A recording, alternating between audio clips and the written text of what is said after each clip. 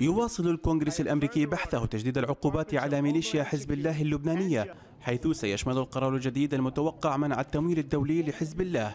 وتوسيع دائرة العقوبات لشخصيات وكيانات محلية ودولية وبحسب صحيفة ديفيليت الألمانية التي نشرت تقريرا يفيد بأن ميليشيات حزب الله تعاني أزمة مالية خانقة بسبب نفاذ التمويل المالي وأن الحزب فقد عددا من عناصره المؤثرين بالإضافة لأنه شهد تراجعا على المستوى الإداري والمالي والعسكري ليتنبأ التقرير فيما بعد بقرب نهاية الحزب. وبحسب الصحيفة الألمانية بدأت الأزمة المالية بعد دخول حزب الله اللبناني إلى سوريا من أجل القتال إلى جانب النظام أما أسباب الأزمة فقسمت إلى سببين. الأول أن الميليشيا تقاتل على جبهات عدة بينما تناقصت مداخلها. نتيجة العقوبات الأمريكية إلى درجة أنها أصبحت مهددة بالإفلاس. والسبب الثاني يتمثل في أن رجال الأعمال الشيعة الذين دأبوا على تمويل حزب الله أصبحوا متخوفين من العقوبات الأمريكية في حال مواصلتهم تقديم دعمهم لهذه الميليشيا.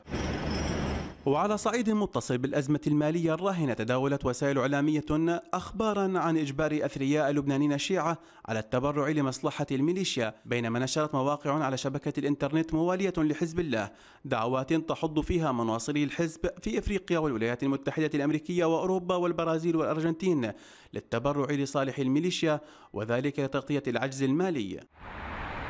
تحدث التقرير أيضا عن مصادر التمويل لميليشيا حزب الله وأخذت إيران الدور الأكبر في تمويل الحزب. وتعمل إيران وفقا لاستخبارات غربية على تحويل مبالغ تقدر ب 300 مليار دولار سنويا لصالح الميليشيات بالإضافة إلى تقديم الأسلحة والخدمات اللوجستية وتبلغ قيمة المعدات العسكرية ما لا يقل عن 700 مليون دولار.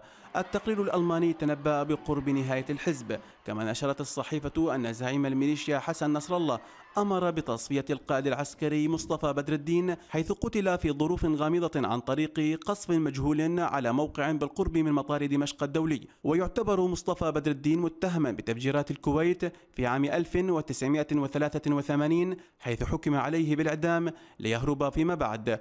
واتهم أيضا بتفجيرات الخبر في السعودية عام 96 وبقضية اغتيال رفيق الحريري عام 2005